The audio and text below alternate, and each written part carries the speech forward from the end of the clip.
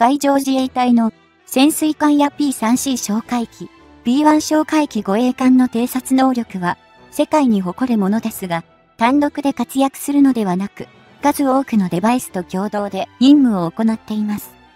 今回は、この探知能力について見ていきたいと思います。実は、中国の原子力潜水艦なら、即発見できるレベルの能力らしいのです。アメリカでさえ、日本の潜水艦探知技術を欲しがるほどだとか。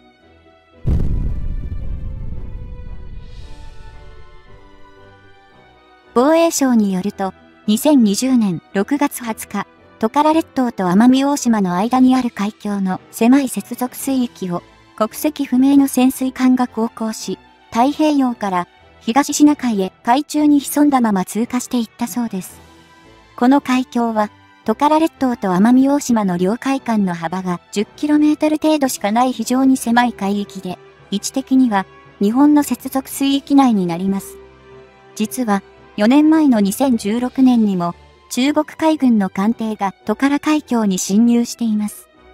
日本は領海侵犯だとして中国に抗議しましたが、トカラ海峡は国際法上の国際海峡だから、日本の領海侵犯には当たらないと一方的な主張を述べるだけで、中国はこの事実を認めようとはしていません。日本における国際海峡は5つあります。宗谷海峡、津軽海峡、対馬海峡の東水道及び西水道そして大隅海峡の5つです。ちなみに、東水道というのは、対馬海峡の対馬の東、域までの間を指し、西水道とは、対馬の西を指すそうです。これらの海峡は、日本の領海法で公海と認定しているだけなので、国連海洋法条約で定義されている国際海峡ではありません。つまり、日本が国際海峡と宣言して、他国の船舶が航行できるようにしているだけです。そう考えると、特に狭いトカラ海峡が国際海峡であるという中国の主張はこじつけですし、的外れとしか言いようがありませんね。最近、年中行事のように、中国海軍の潜水艦らしき艦艇が、南西諸島周辺で、日本の接続水域や排他的経済水域を海中に潜ったまま通過するという事件が多く発生しています。2018年1月、尖閣諸島の接続水域を先行していた093型原船らしき潜水艦が海上自衛隊に追跡された挙句、東シナ海の公海上に浮上、中国国旗を掲げて逃げ去ったという案件は、覚えている人も多いでしょう。中国の潜水艦が、なぜ、日本の排他的経済水域にいたのかというと、尖閣諸島の領有を主張するための行動ではないかと見られていますが、海事の対戦勝海ヘリや護衛艦、潜水艦などからも追跡され、2日間もアクティブソナーを受け続けたことに耐えかねて仕方なく浮上したのだろうと推測されています。中国海軍の源泉がアクティブソナーの洗礼を浴びたのはこの時が初めてではありません。2004年にも091型艦級源泉が石垣島の領海を侵犯した事件で海上警備行動が発令され、この潜水艦は上海沖まで追走したこともありました。当時、中国側は訓練中の技術的な不備により、間違えて石垣水道に侵入してしまったと審判を認めた上でしぶしぶと釈明していますが、それ以降も中国潜水艦の接続水域侵入が続いているのはご存知の通りです。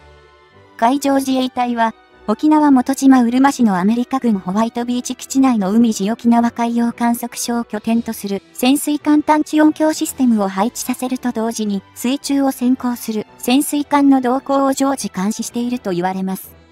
このシステムは海底ケーブルを這わせて数十キロメートルごとに水中超音機を設置、通過する潜水艦から発信される音を探知するだけではなく、音門や磁気データなどの収集も可能で、眼種だけでなく、個別の缶を割り出すこともできる優れものの探知機材ということです。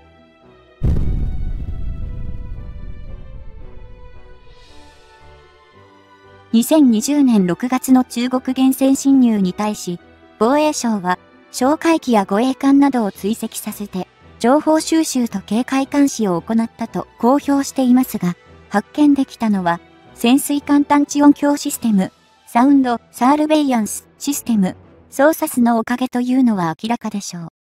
南西諸島付近での中国潜水艦の動向は、操作数を使用して、海上自衛隊とアメリカ海軍が常時監視しています。このシステムは、東西冷戦時代には、ソ連の潜水艦探知のために、津軽海峡や対馬海峡などに設置されていたそうです。冷戦終了後は、南西諸島で使用され、現在は、下北半島から北海道道東までケーブルも設置され、運用を開始しているとか。海事の潜水艦探知技術は日々開発が進んでいて、水中電解センサーや熱感知センサーなどがすでに実用化されているようです。源泉の原子炉冷却排水は、周囲の海水温よりも高くなるので、その熱を感知して、潜水艦の存在が判明するという仕組みなのです。海底設置型水中電解センサーもすでに稼働し始めているようです。艦艇や潜水艦が海水に接する部分には舵やスクリュー、アース板などの金属が使われているので、これらが電気的に艦内と接続されている場合には流れている電気が海水に電流として流れることになるので、艦艇や潜水艦の周囲に水中電解が発生して探知されるという仕組みです。ちなみに、水中電解に関しては、船体から磁気を消す作業を施した潜水艦でも、海中を先行すると、微量な磁場が必ず発生するので、時期は隠せないと言われています。水中電解センサーは、ケーブルそのものがセンサーになるので、特別な装置も必要ありません。前述の潜水艦探知音響システムなど音響探知システムと併用し、総合的に潜水艦の探知に使用される可能性が高いと言えましょう。中国は2018年に国旗を掲げて浮上し、逃走した093型原子力潜水艦の後継艦として095型攻撃型原子力潜水艦の開発を始めているようです。095型は093型と比較すると、キャビテーションノイズがかなり低減するらしいと言われます。キャビテーションノイズは、物体が航行すると発生する気泡の音響信号のことです。このノイズが減ると敵に探知されにくいことになります。仮にノイズが減ったとしても、潜水艦探知音響システムや水中電解センサーを併用すれば、中国船の探知は何の問題なくできると言われています。中国が南西諸島の日本の接続水域に出現する理由ですが、様々な目的があると推測されますが、その一つは、日本の潜水艦探知能力を探るためとみられます。自分たちを追跡する相手の能力を調べるのは当然といえば当然ですね。